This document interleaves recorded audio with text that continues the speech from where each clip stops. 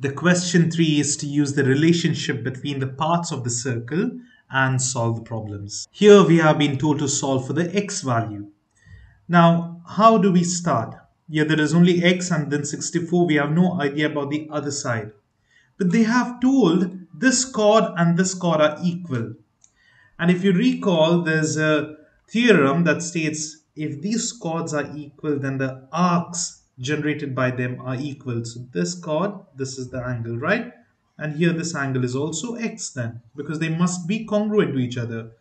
Now then, if we equated x plus x plus this angle 64 degrees must be equal to 360. Now use the calculator and solve. Here I have typed this as it is in the calculator. You just press shift and solve and press equal to, then you get the answer. It's 148. That's the answer. Here they have told to find x, but they have not given us the, you know, any measure of this angle or other angles. But we know these both are equal. That means this angle is also 116 degrees. Then since it's the central angle, the central angle is whatever the arc's angle. See this arc is 116. That means this is also 116 degrees. They're equal. So it's basically 116 degrees itself. So that's how we solve it. Very straightforward problems. Now, what about these ones? Please try to solve them by yourselves and then watch the explanations. Here we have been told this is 82 degrees and this is 4, the dimension of this chord. And here also the chord is 4 and if we have congruent chords, the angles will be equal. X must be 82 here. And over here we have 9, 9 so this is x 90 and the remaining one must be x itself.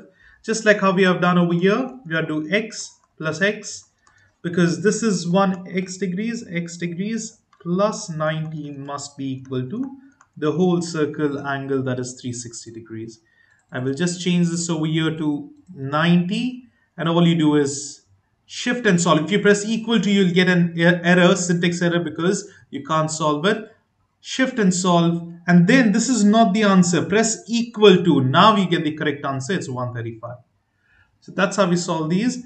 Now here looking at these problems you can easily equate this angle to this equation. Now here as well since we know these arcs are equal so these both must be equal. You can type it out in the calculator as it is. 2 alpha x gives you x variable plus 4 must be equal to by alpha and calc that is 18 shift and solve the x value is 7 here. Now to solve the next question here they have told this arc and this arc is equal. Now can you just equate 2x plus 1 equals 115 let's try that. 2x plus 1 is equal to sorry it's 1 equals 115 now if I press shift and solve I'm going to get this answer but please remember this is a wrong answer. Why it's not possible? Now, if this length was told to be some value, say phi, we can just equate it, right? But why we can't equate the angle and this?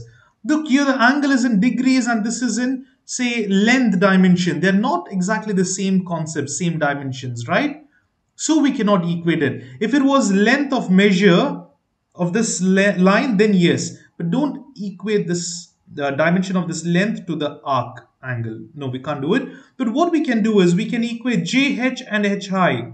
The reason I told that is sometimes if students just equate these two, you will get an answer, but that's a wrong answer. But here equate JH and HI, the chords. That is 2x plus 1 equals 5x 5. And now if you press shift and solve, you'll get the answer 2. x value is 2. Here for this question as well, it's just the same. The chords are given. Just equate these two equations and you can solve it up. Here you can see. Equate the equation, solve it. Now, here they have told these two circles are congruent. And then they have told this arc from this chord and this arc is equal, right? So just equate these both because they are congruent circles and you will get the answer equating them. Now here in this question, they have told angle circle V and circle W are congruent. And this chord is given and this is the angle 162. But what about this angle? It's not mentioned.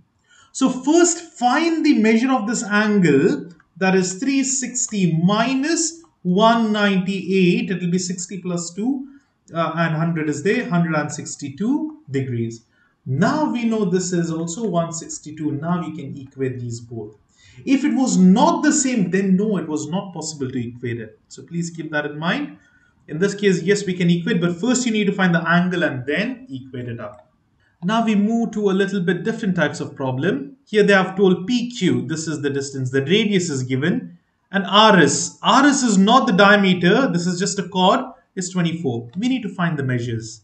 Okay, let's do this. What is RT? RT is this. So how would you solve it? We know RS, the total length, is 24 and this radius is cutting at 90 degree it will cut this into congruent parts or equal parts. It bisects it. So it is 24 divided by 2. That will be 2r over here. That is RT. So that's it. Very simple. Now what about PT? Let's do this one. PT is, okay, this distance is required. Now this is interesting because you can't directly solve it. PT is over here. We know RT and we know PQ. So what I'll do is, I'll just connect a line from year to year. If I draw a straight line, then this is 90 degrees, isn't it? Because that is 90. We have Pythagoras theorem. Now I know Pythagoras theorem is rp square equals rt square plus pt square. Now I can just substitute the known values. This is same as the radius value. What is it? PQ is 13, so this is also 13. What about RT? We just now found out it's 2R and now uh, just substitute over here 13 square equals 2r square plus pt square. Now this is a Pythagorean triplet. If you remember phi 2r 13 are a Pythagorean triplet. So hypotenuse is 13 square. This is 2r square. This is phi square. The answer will be phi. But otherwise you can just solve this in calculator. You will get the answer phi. What about TQ? TQ is very simple. We know the radius is 13. 13 minus PT we just now solved. That will be the answer. 13 minus 5 is 8. And here again similar problems, but this time we have to find the measure of arc, DE.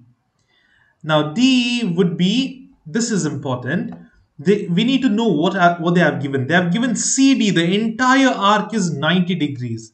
If this entire arc is 90 degree, since this is a radius or diameter is cutting and there's 90 degrees.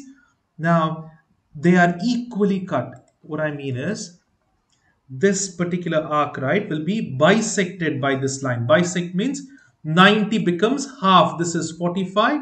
This is 45. So from CD, which was given as 90 divided by 2, that means it's 45 measure of angle DE. So this will be half of 90. And what is FD? FD is this length, see this one. Now, what do we know? We know EB value, the diameter is 12. We know CD, the entire CD is 8. And we want FD, this half of it will be FD. So just do half of 8, that will be 4 here. And AF, now AF is this, we can just do the similar method what we did a while ago, Pythagoras theorem method and solve it up. So that's how we solve these. And here we have a real situation problem. For security purposes, a jewelry company prints a hidden watermark on the logo of its official documents. The watermark is a chord located 0.7 centimeter away from the center of the circular ring. So now let's just draw a circular ring and imagine this is the center. 0.7 centimeter, 0.7 away is a chord. Okay. The circular ring as a radius, the radius over here from the center to this r is 2.5. To the nearest tenth, what is the length of the chord? Now we need to find the length of this chord. But first we need to find at least half this distance and then we can find the full. So what I'll do is we did the Pythagoras theorem thing, right? So this is how much radius, 2.5, this is 0.7. So let's draw it. I will just do from the center to here, it was 0.7 and then this is the radius and this is the big chord right so here it's 2.5 we will find half of the chord and this is the circle okay that's the extra part just ignore it So what we do is 2.5 square equals 0.7 square plus x square. Now this x, let's find it out directly in calculator. Now you can type it out directly 2.5 square equals 0.7 square plus x square. Shift and solve, make it equal to, you get 2.4. Now they told nearest tenth and that is nearest tenth itself. So it's, okay, now I forgot. 2.4 is the x value. What did they ask? It's not that. They have asked you the length of the chord. Please don't make the mistake I just now made. We got 2.4, that is this distance. Just half of the chord. Multiplied by 2. Again, over here there's 2.4. So that is 4.8. That is the answer. 4.8 centimeters is the length of the chord. That's the end of this topic. Please do solve more and more problems by yourselves or at least solve the given questions in the EOT by yourselves. And if you have any doubts, post them in the comments.